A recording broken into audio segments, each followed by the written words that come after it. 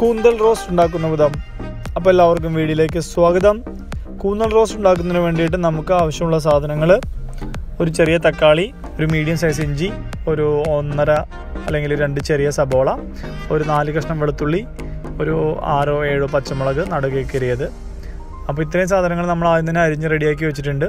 ഇനി ഒരു മിക്സിയിലെ ജാറിൽ ഇഞ്ചിയും വെളുത്തുള്ളിയും ഒരു രണ്ട് കഷ്ണം പച്ചമുളക് കൂട്ട് നമ്മൾ നന്നായി അടിച്ചു വെച്ചിട്ടുണ്ട്.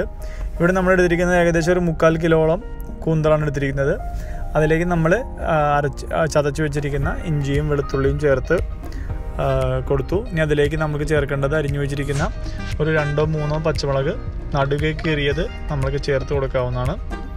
ഇനി നിങ്ങളുടെ ആവശ്യത്തിനനുസരിച്ചിട്ട് അപ്പം അളവ് നോക്കിയിട്ട് ഉപ്പ് നമ്മൾക്ക് ചേർത്ത് കൊടുക്കാവുന്നതാണ്.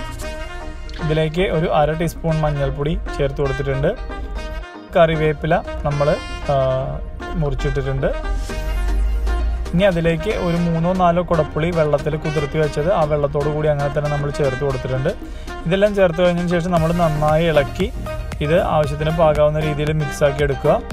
അതിനുശേഷം നമ്മൾ തീ ഓണാക്കിയിട്ട് ഇത് അടച്ചു വെച്ചിട്ട് വേവിക്കുക. നമ്മളിവിടെ എടുത്തിരിക്കുന്നത് ഒരു മൺചട്ടിയാണ്. മൺചട്ടി ചൂടാക്കാൻ വെച്ച് ചൂടായി വരുമ്പോൾ അതിലേക്ക് നമ്മളൊരു രണ്ട് ടേബിൾ സ്പൂൺ വെളിച്ചെണ്ണ ചേർത്ത് കൊടുത്തിട്ടുണ്ട്. ഇനി ആ വെളിച്ചെണ്ണ എല്ലാം നന്നായി ചൂടായി വരുമ്പോൾ നമ്മൾ അതിലേക്ക് ചെറുതാക്കി അരിഞ്ഞു വെച്ചിരിക്കുന്ന സബോള ചേർത്ത് കൊടുക്കുക. ഒന്ന് വഴച്ചെടുക്കുക ഈ സമയത്ത് പെട്ടെന്ന് വഴണ്ടു വരുന്നതിന് വേണ്ടിയിട്ട് നമ്മൾക്ക് ആവശ്യത്തിനുള്ള ഉപ്പ് കൂടി ചേർത്ത് കൊടുക്കാവുന്നതാണ്. ഇനി അതിലേക്ക് നമ്മളിപ്പോൾ ഒരു ടീസ്പൂൺ ഉപ്പാണ് ചേർത്ത് കൊടുത്തിരിക്കുന്നത്.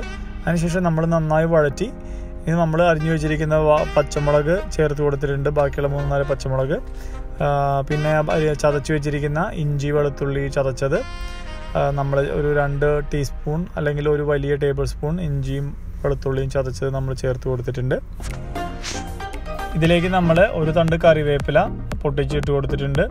ഇതെല്ലാം നന്നായി ഒന്ന് വഴറ്റുക. ഈ ഇഞ്ചിയുടെയും വെളുത്തുള്ളിയുടെയും സബോളയുടെയും പച്ചമുളകിന്റെ എല്ലാം.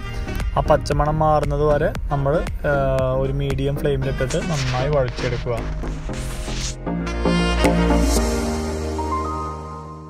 ഇപ്പോൾ ഈ സബോളയും ഇഞ്ചിയും വെളുത്തുള്ളിൽ അത്യാവശ്യം വഴണ്ട് വന്നിട്ടുണ്ട്. ഈ സമയത്ത് നമ്മൾ അതിലേക്കൊരു അര ടീസ്പൂൺ മഞ്ഞൾപ്പൊടി ചേർത്ത് കൊടുക്കുക.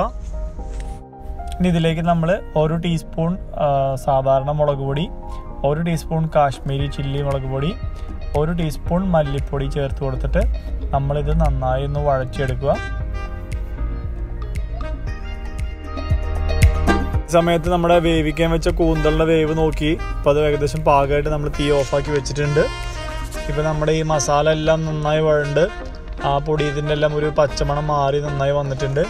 ആവശ്യത്തിന് വേണമെന്നുണ്ടെങ്കിൽ നമുക്ക് വെളിച്ചെണ്ണ ചേർത്ത് കൊടുക്കാവുന്നതാണ്.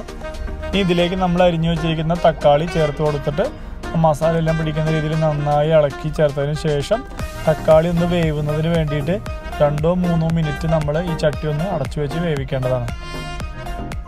തക്കാളി നല്ലോണം വെന്തിട്ടുണ്ട്. ഈ സമയത്ത് നമ്മൾക്ക് ഒരു ടീസ്പൂൺ ഗരം മസാലപ്പൊടി ചേർത്ത് കൊടുത്തിട്ട് നന്നായി ഒന്ന് ഇളക്കി വഴറ്റി ഒന്ന് എടുക്കാം. ഇതിലേക്ക് നമ്മൾ വേവിച്ച് വെച്ചിരിക്കുന്ന കൂന്തളും അതിന്റെ ഗ്രേവി അടക്കം നമ്മൾ ഇതിലേക്ക് ചേർത്ത് കൊടുത്തിട്ട് നന്നായി ഇളക്കി മിക്സാക്കി എടുക്കുക. ആ മസാലയും ഗ്രേവിയും കൂന്തളെല്ലാം കൂടി നന്നായി മിക്സായി വരുന്നത് വരെ നല്ല രീതിയിൽ നമ്മൾ ഇളക്കി കൊടുക്കുക. ഗ്രേവിയോട് കൂടിയിട്ടുള്ള കറിയാണ് നിങ്ങൾക്ക് ആവശ്യമെന്നുണ്ടെങ്കിൽ നിങ്ങൾക്ക് ഈ സമയത്ത് തീയെ ഓഫ് ചെയ്യാവുന്നതാണ്. പക്ഷെ നമ്മളിവിടെ തയ്യാറാക്കിയിരിക്കുന്നത് കൂന്തൽ റോസ്റ്റ് ആണ് ഉദ്ദേശിച്ചിരിക്കുന്നത്.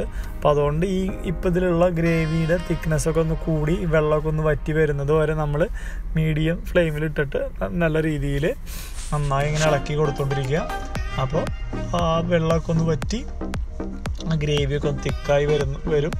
അപ്പോൾ അങ്ങനെയാണ് നമ്മൾ കൂന്തൽ റോസ്റ്റ് വേണ്ടവർക്ക് ചെയ്യേണ്ടത്.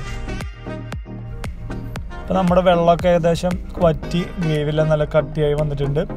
അപ്പോൾ ഈ സമയത്ത് നമുക്ക് തീ ഓഫ് ചെയ്യാം. കാരണം നമ്മുടെ കൂന്തൽ റോസ്റ്റ് ഇപ്പോൾ റെഡി ആയിട്ടുണ്ട്. അപ്പോൾ നമ്മൾക്ക് എന്താ പറയുക ചോറിന്റെ കൂടെയും ചപ്പാത്തീന്റെ കൂടെയും ഇടിയപ്പത്തിന്റെ കൂടെയൊക്കെ കഴിക്കാൻ പറ്റിയ നല്ല സ്വാദിഷ്ടമായ കൂന്തൽ റോസ്റ്റ് റെഡി ആയിരിക്കുകയാണ്. അപ്പോൾ എല്ലാവരും ട്രൈ ചെയ്ത് നോക്കണം അഭിപ്രായങ്ങൾ അറിയിക്കണം. ഇതുവരെയ്ക്കും ചാനൽ സബ്സ്ക്രൈബ് ചെയ്യാത്തവരാണ് നിങ്ങളെങ്കിൽ ദയവീത് ഈ ചാനൽ സബ്സ്ക്രൈബ് ചെയ്യുക സപ്പോർട്ട് ചെയ്യുക. വീണ്ടും അടുത്ത വീഡിയോ ആയിട്ട് കാണുന്നവരേക്കും നന്ദി നമസ്കാരം.